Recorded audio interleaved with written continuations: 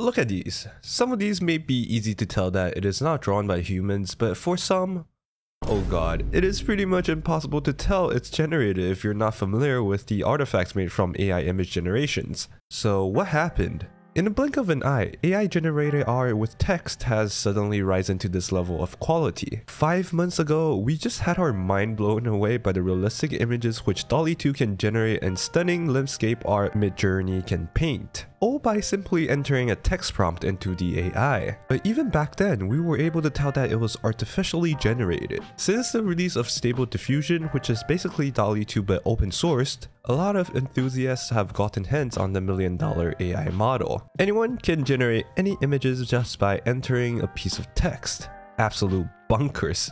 This is also where the open source effect kicks in.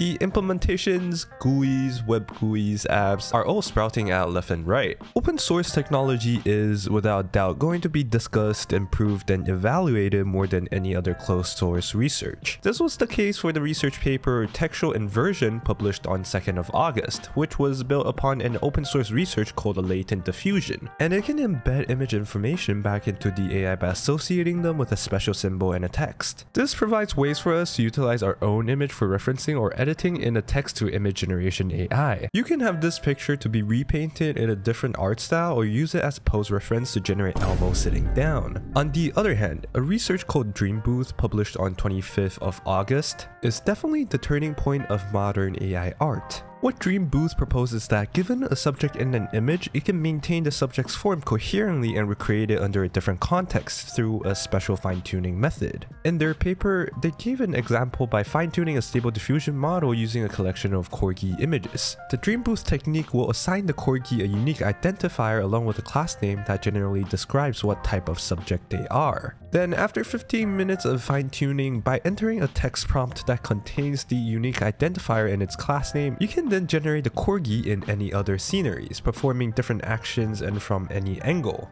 Mind-blowing, right? Before, if you wanted to generate a corgi, you have to be very specific about the color of the corgi, fur patterns, or even lighting to be able to generate the same corgi over and over again. And still, with no guarantee that the corgi will still have the same butt shape.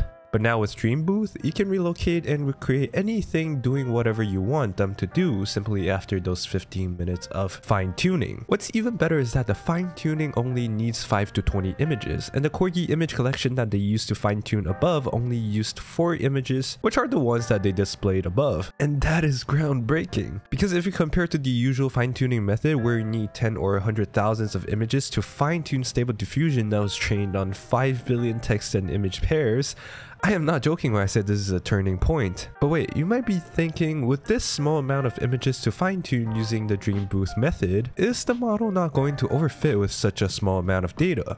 Problems like language drift can potentially occur where a text-to-image diffusion model slowly forgets how to generate a generic subject associated with a word and can only generate the fine-tuned subject instead. This was solved by their method called prior preservation loss, where it'll have a separated model not being fine-tuned and basically share weights between each other. This prevents the language drift problem and it actually does surprisingly well. To prevent confusion, for the rest of the video I am calling the Dream Booth method separately from fine-tuning because they are slightly different. So now, imagine you have 5 to 20 images of a person, a fictional character, or an object. Even with drawing faces and bodies, which is a field that AI art generators have always been bad at, Dream Booth can redraw them easily like these AI-generated illustrations of an anime character. This was also done by Dream Booth, but with a few more adjustments than what you would have done with normal realistic images. First, Dream Booth did not publish their official codes, and instead people over at Stability AI made a custom implementation of it to fit together with Stable Diffusion by using textual inversion. So the referred Dream Booth is just the technique that it uses, not the codes and results you would see on their official paper. Second, in order to get Stable Diffusion to at least generate illustrations on a normal basis, fine-tuning is definitely needed in order to do that so later on when AI is redrawing any illustrated characters under an illustration context would be possible. Hence, people over on Dongfang Project AI fine-tuned a stable diffusion model with over 300,000 illustrations was created and named as Waifu Diffusion because of the amount of anime-related illustrations it can generate. Then lastly, a dev called NMKD Dream Booth this character with 7 of its fan art and it was able to reproduce illustrations illustrations of this character in many different contexts. I have Dream Booth one myself too and it actually works. And with the right parameters, you can get something as nice looking as these. And this is scary. Very scary.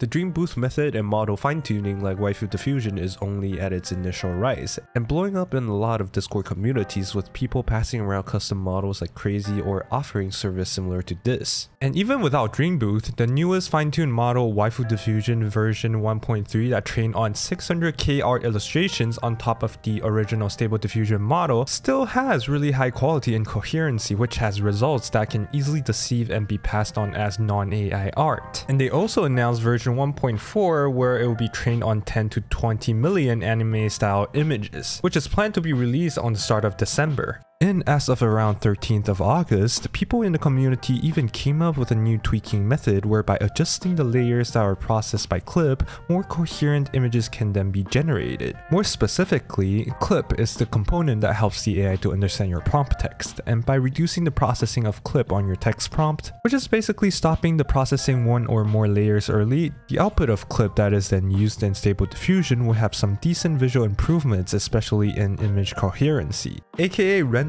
five fingers accurately? Five? Even though the details on the fingers are still a bit scruffy, but you know, one of the biggest obstacles for the AIs is definitely generating small details like this. However, only models that were trained with this tweak can use this method which is called a clip skip. On the other hand, this discovery may have been made from the leak of novel AI's custom models and codes, and a lot of new information such as hyper-network switches and unseen technique in AI was made public. There was quite a lot of drama surrounding this leak and I might cover this drama in the future but for now and probably also in the future I will remain neutral. But anyways, is this technology a bless or a curse? Well, I am definitely very concerned about the flow of funds across from artists to model trainers, GUI maintainers, and code implementers but I guess we will all soon find out because the future that a lot of us were worried about is literally right here in front of our eyes. Additionally, I will be making a video on the potential effects and problems problems real artists have to or gonna have to face because of these AI technologies. So subscribe to stay tuned to that and thank you for watching. But if you genuinely want to explore and learn more about how to make AI art and see what the current technology is capable of, let me introduce you to today's sponsor, OpenArt.ai. OpenArt is basically a website where you can explore hundreds of millions AI generated images, ranging from AI such as Stable Diffusion, DALL-E 2, or Midjourney.